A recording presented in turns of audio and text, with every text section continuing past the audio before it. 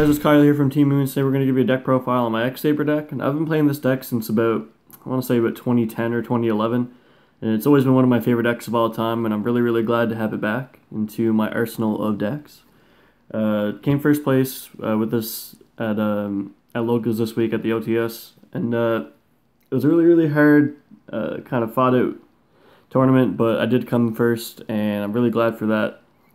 And uh, this deck has some good matchups in the current format, but it does have its uh, its weak points against like stuff that heavy combo decks like Metalfoe and stuff like that. But all in all, it's a pretty really solid deck, and it has it can get around pretty much any kind of board because there's a lot of big beefy monsters and it has a lot of back row destruction.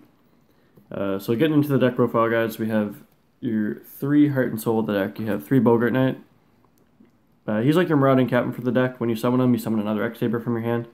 Uh, he's really good for synchro plays and exceed plays because you can only use him for an X-Saber synchro, but it doesn't say anything about exceeds because it came out way before that time. Um, but it's really, really good for that. That's a really good starter card. So you run three of that. Uh, next, you run three of your boy. You got three Dark Soul. He's your Searcher your deck. You need to run three of this card. He is insane. Uh, I wish they still had the ruling where if you sent the same Dark Soul multiple times per turn, you get multiple searches per turn. But now it's ruled that you only get one uh, one search per copy, but it's still really, really solid. Uh, next, you run probably your brickiest monster, but he's also one of your best monsters. You run three Faultroll. Uh, he kind of bricks because if you hard draw two in a row, then you're kind of screwed because you can't really summon anything. But if you control two X-Sabers, you can special them for free from your hand, and then he's a monster born pretty much from your graveyard every single turn. Uh, next, we run three Emmersblades. I was thinking about cutting this down to two because there is a lot of monster destruction other than battle.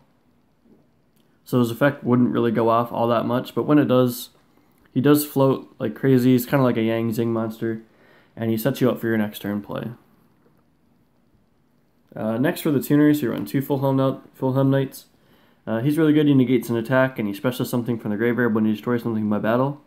But the 1300 attack doesn't really help him to do that very often, as you would probably assume. But he's really good overall. He's level 3 tuner. He's a warrior.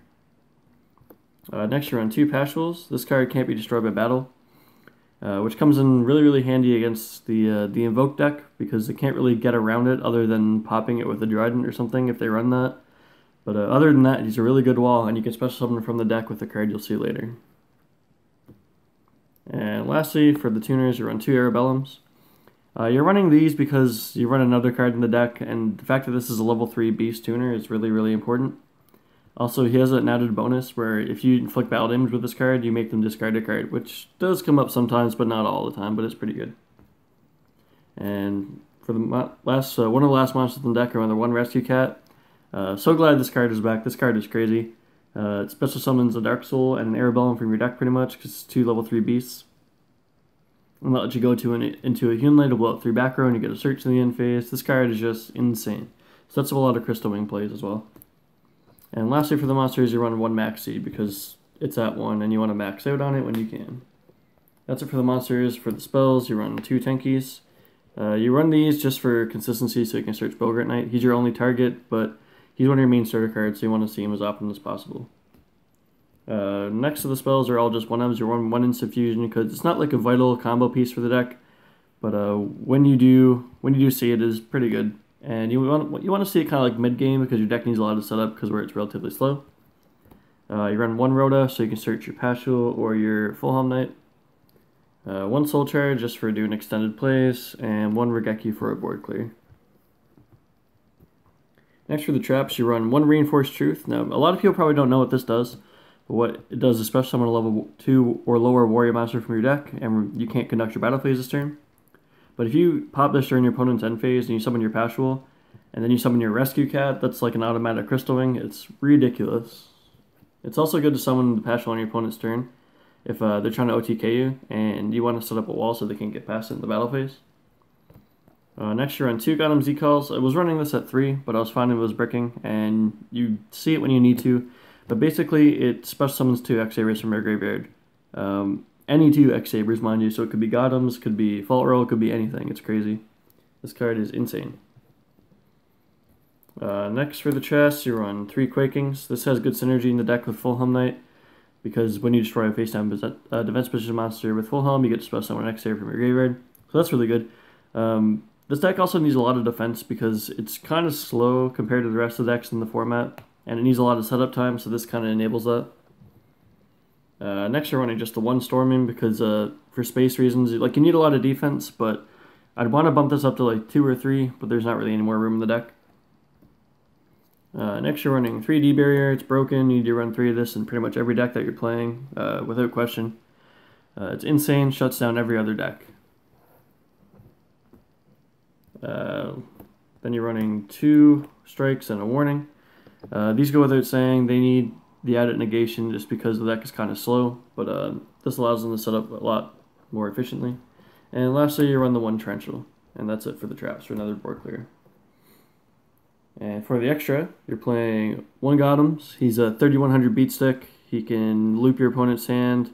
Uh, I'm not playing Regigigas because I find the hand loop thing doesn't come up too often. And uh, I'd rather pretty much every other card instead of just a Bricky Regigigas, so I don't run that. But you can still loop two or three cards of your opponent's hands just by regular plays. So one's good. Uh, next, you're running two Hyunleis. Uh, when this card is synchro summoned, you can destroy up to three back row on the field. Uh, and that's crazy. This You can destroy two Pendulum Scales and a field spell or three back row, and it's pretty crazy. This card's like way more nuts than Twin Twister, and it came out years and years and years ago. Uh, you can get it out, so you're going to run an Naturia Beast. It's broken. You're going to run a Brio for clearing some fields. Uh, you're running Colossal Fighter. You do run a lot of Warriors in this deck, so he does get pretty beefy. And uh, when he goes, you can special summon something like, like a Hyunlei or something from your graveyard and just go off even further. Uh, to start a Spark Dragon for some more protection and some just versatility plays. Uh, you run a Scarlight for nuking the field and doing extra damage. Uh, for anyone who can't see it, it's Scarlight. Um, so you need to run this uh, just so you can have an added board clear other than Raigeki and Torrential and stuff. Uh, like I was saying earlier, there's a lot of potential for Crystal Wing in this deck, so you want to run it. I get it out pretty much every single game within the first two turns, so it's pretty great. Uh, you're also running a Trish, just because you can summon a level 3 and then use your Gotham's Declaw and go to three, uh, two more level 3s, and there's your Trish right there. That's it for the Synchros. Now we're going to Insuffusion target. It's Norden. Uh, it goes without saying, it's pretty obvious what it's going to be. Uh, next, you're running Utopia and Utopia Lightning. Uh, it's a really good combo to get over most decks, and it's pretty much needed in this format. Uh, you run a Castel just to get rid of problem cards and flipping stuff to pop with uh, with Full Helm Knight, so that's edit synergy. And where you run three Faultrolls, you do run the one Ptolemy M7. Uh, it's good for bouncing cards, and if you detach Faultroll, you can also add Faultroll back to your hand, special it again, and then special something else from your graveyard. So it's a really good combo extender card.